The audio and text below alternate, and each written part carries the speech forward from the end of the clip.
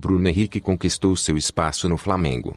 O comandado de Jorge Jesus tem sido uma das peças fundamentais do elenco para as duas competições que o rubro-negro batalha nesta temporada.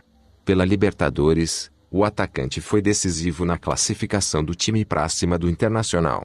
No Maracanã, marcou os dois gols da vitória sobre o Colorado, enquanto que no Rio Grande do Sul, fez jogada memorável que culminou em passe para gol de Gabriel Barbosa. Juntamente com Gabigol, ambos formam o ataque mais mortífero do Campeonato Brasileiro, somando juntos mais de 50 gols nesta temporada. Tamanho destaque tem enchido os olhares também do técnico Tite, sendo um nome cobiçadíssimo para a seleção brasileira. Tanto destaque, porém, há de ter seu preço. Revés para o Flamengo, segundo o jornalista Jorge Nicola, a atuação de Bruno Henrique tem despertado o interesse do milionário futebol chinês, e dois clubes asiáticos já teriam se movimentado, demonstrando interesse em retirar o atleta do Flamengo.